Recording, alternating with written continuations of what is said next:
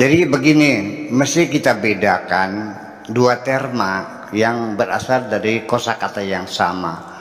Yang satu namanya syukuran, yang kedua tasyakuran. Ini dua kata dipakai oleh ini. Nah, ketika saya diundang oleh orang untuk menempati rumah baru, acaranya tasyakuran menempati rumah baru. Jadi hampir jarang yang bilang syukuran tuh, tasyakuran kebanyakan. Padahal janji Allah Walaqad ta'adzana rabbukum Allah telah berkomitmen la in syakartum la azidanakum apabila engkau bersyukur pasti akan kutambah wala in kafartum ketika engkau ingkar akan nikmatku inna bila syadid sesungguhnya siksaku sangat keras logika kita dengan janji Allah itu karena dia syukuran akan diberi nikmat kan begitu Ternyata setelah dia syukuran menempati rumah baru, enam bulan kemudian rumahnya terbakar. Kemudian syukuran nikah, tiga bulan kemudian bercerai lagi. Jadi di mana janji Allah menambah nikmatnya itu? Nah ternyata mereka itu bukan uh, syukuran tapi tasyakuran. Dalam pengertian kalau orang bersyukur itu pasti bertasyakur. Tapi tidak selalu orang yang bertasyakur itu bersyukur. Karena tasyakur itu adalah sebatas mengucapkan thanks a lot. Merci buko. itu aja. Terima kasih. Apa? Nuhun pisan bahasa Sundanya ya. Terima kasih banyak. Nuhun, matur nuhun. Terima kasih. Baca sebacam itu. Terima kasih thank you very much, thanks a lot dan sebagainya. Tetapi kalau syukuran itu adalah kondisi hati, bukan ucapan. Jadi artinya bisa saja orang itu tasyakuran tapi tidak bersyukur. Ketika membeli sesuatu di pasar, katakan saja beli bawang. Beli 5 kilo tanpa imbuh, pas kali timbangannya. Jadi si pembeli bilang, masa 5 kilo nggak ada imbuhnya? Ya deh, dikasih. Ternyata imbunya itu bawang-bawang yang bosok. Dia bilang terima kasih. Tapi sampai sambil membentak. Itu dia tidak bersyukur. Dia bertasakur terima kasih sambil marah. Anak kita juga minta uang sepuluh ribu kita kasih dua ribu. Diambil juga. Tapi bilang terima kasih sambil lari nah itulah makanya jadi orang dari mana buktinya dia itu uh, tasakur acara tasakur ya betul tasakur setelah selesai ceramah saya dibawa masuk ke kamar tidurnya e, tempat tidurnya itu dibuat dari braso ini pesan dari Itali harganya 700 juta. Undang masuk di kamar mandi itu terbuat dari resapnya dari onyx yang dari pesan dari dari Turki langsung ya kan? Ini harganya sekitar e, 200 juta. Nah ketika diajak muter-muter di rumah dia yang sangat mewah itu ini lagi tasyakuran apa sedang pamer? Jadi beda. Nah jadi ingin saya jelaskan secara mendetail di sini.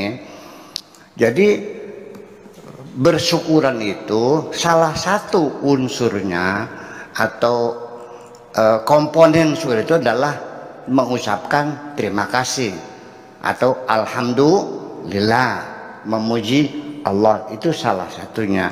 Tetapi yang paling terpenting bahwa syukuran itu satu adalah pertama dia menyadari plus merasakan plus memahami plus mengetahui bahwa dia mendapatkan nikmat dari Allah itu satu memahami menyadari mengerti mengetahui kalau seandainya Pak Afkar di, di, di bawah ranjangnya itu, di bawah tehelnya ada harta karun emas 10 kintal atau satu ton, tapi tidak tahu senang nggak? Bisa bersyukur nggak? Ya enggak, karena nggak tahu. Atau juga kita tidak sadar berapa lama saya tidak pernah mensyukuri bokong.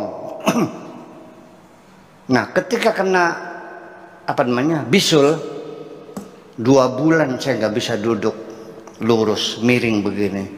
Ya Allah baru sadar nikmatnya bokong seperti bantal permanen duduk di mana saja empuk. Ya jadi selama ini saya tidak mensyukuri punya bokong. Kenapa? Karena saya tidak menyadarinya banyak seorang perempuan dapat suami yang soleh sangat-sangat soleh sekali. Dia ngelus dada setiap hari marah-marah terus. Masya Allah. Setelah mati dia baru sadar oh jadi suami saya itu waliullah. Ya terlambat persoalannya. Jadi satu syaratnya sadar tahu mengerti itu satu. Yang kedua bersyukur itu adalah mengakui bahwa itu adalah pemberian Tuhan. Jadi bersyukur itu adalah empat komponennya atau, atau sebetulnya ada 80 pernah saya analisa ada 80 tapi kita singkat saja. Yang kedua yaitu mengakui sebagai pemberian Allah.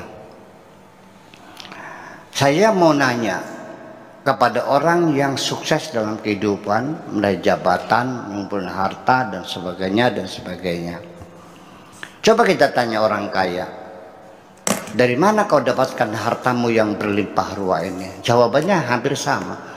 Hasil jerih payahku, hasil banting tulang peras keringat, kepala jadi kaki, kaki jadi kepala, siang jadi malam, malam jadi jadi siang, banting tulang peras keringat. Dia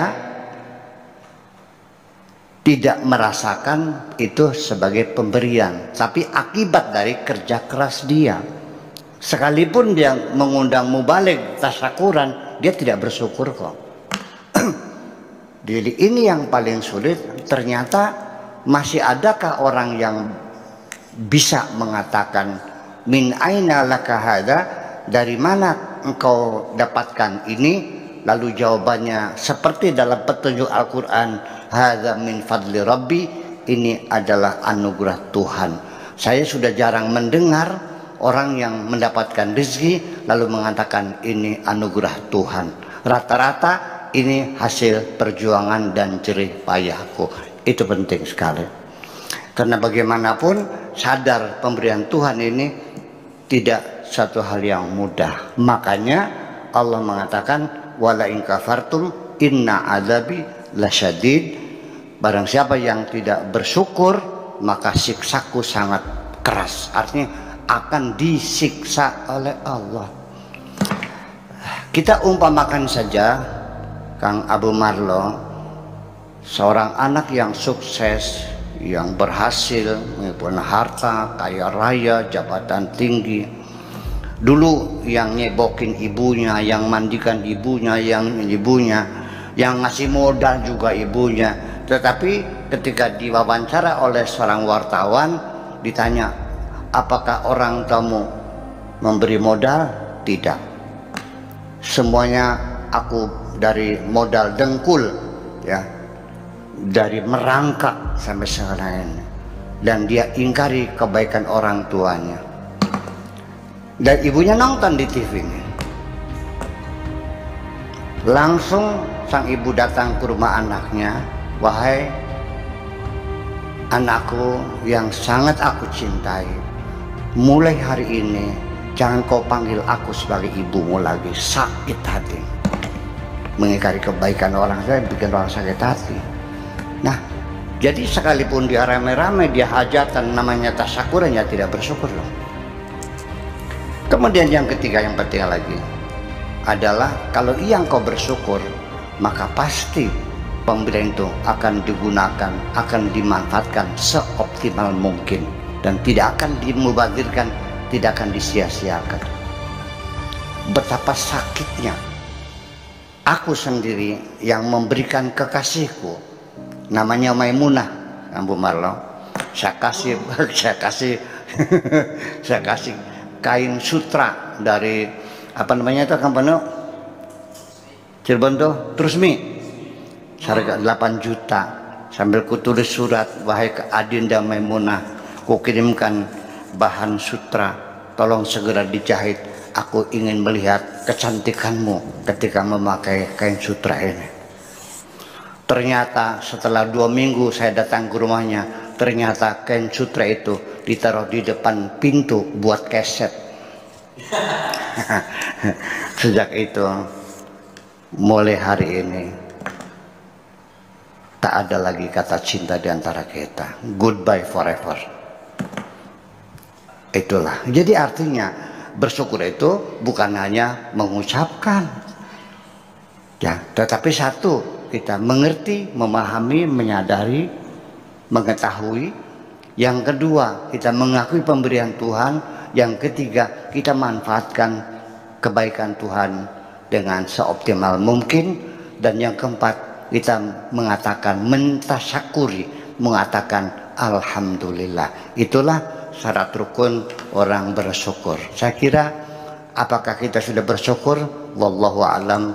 Mari kita introspeksi sendiri. Makasih.